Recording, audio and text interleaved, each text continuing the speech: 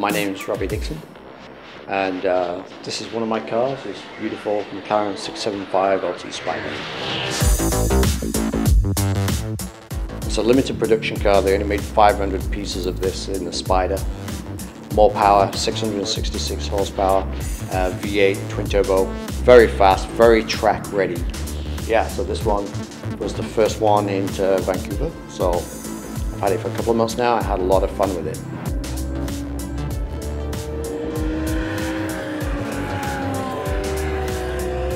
Was about nine or ten years old and I watched this movie called The Cannonball Run starring an ultra cool Burt Reynolds at the time. Such a, an epic movie for me.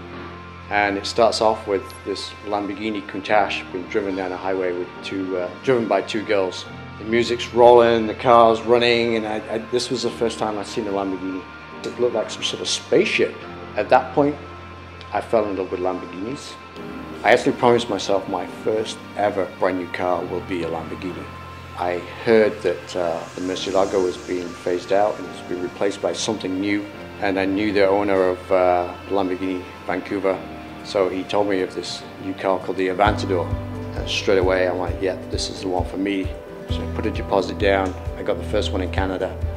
And, uh, and I remember walking into his office with a big pile of cash because my dream was that I would pay cash. So I had like half a million dollars of cash and I just dumped it on his table and said, here, this is my first ever brand new car.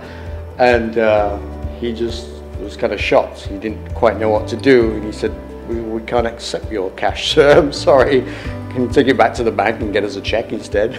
I'm like, damn it. Spoiled my, spoilt my dream, but um, still got the car and I was very lucky. The color I chose was a turquoise color. I love the ocean and I had a picture on my wall of the ocean and it was a turquoisey color and I gave them a piece of this, this turquoise and I said I want the car to be in this color.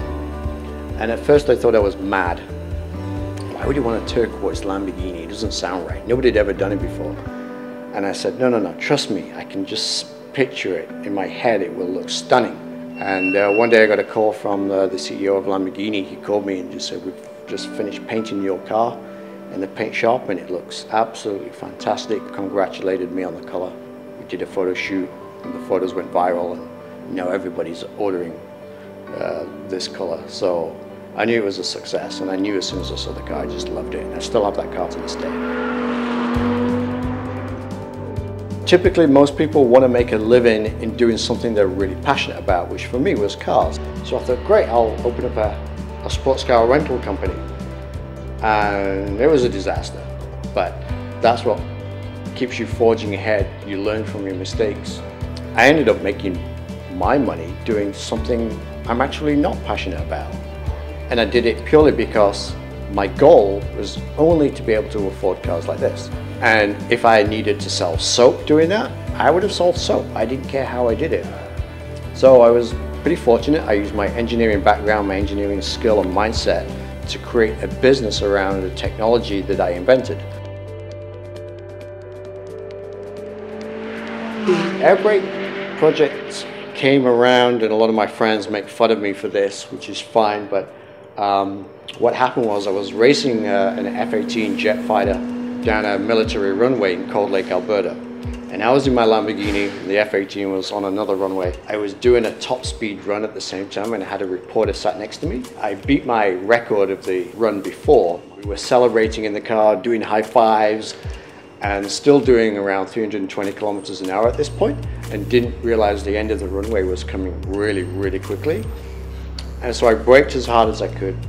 I wasn't going to make it, and I tried to make the turn onto the taxiway, still going way too fast, and ended up spinning off.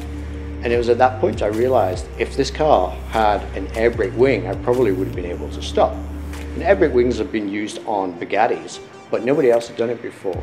So one of my companies, Ativo Designs, we make carbon fiber equipment and uh, parts for high-end vehicles. I decided under our Ativo brand to create an air brake wing using a technology from another one of my companies that makes actuators. So we use actuators to activate the wing, make it flip up at high speeds when you're braking hard, and it creates enough braking force equivalent to about two regular sedan cars. So it's quite a lot of braking force. Now you're seeing the air brake technology used in all sorts of cars, including this one here. Now everybody's using it as standard. So it just goes to show that it was the right idea at the right time. Area 27 really came about because we don't have a racetrack in Western Canada. You know, when you own a car like this, you want to be able to really open it up and experience it the way it's designed and built. So about 10 of us got together and decided it was time we built our own racetrack. The original founder, Bill, he knows uh, Jacques Villeneuve quite well. They grew up together. And so he contacted Jacques and asked him, had he ever designed a racetrack before? And Had, I'd love to, I've never done that before. I've always wanted to design a racetrack. So he came on board. He designed this phenomenal track, and we call it Area 27 because 27 is his number. You know, be called one of the best tracks in the world right now very successful. A lot of people loved it and a great way to get other supercar owners to come out and enjoy their cars and actually drive them, which is not something everybody does in Vancouver. They buy the cars, they stick them in the garage and never see them ever again. So this really forces them to get their cars out onto the racetrack and meet other people. Huge success, we're very excited about it and I love driving on the track. I've had this car on it a few weeks ago and it's just so much fun just being able to drive the car and drive them the way they're designed on the track is just phenomenal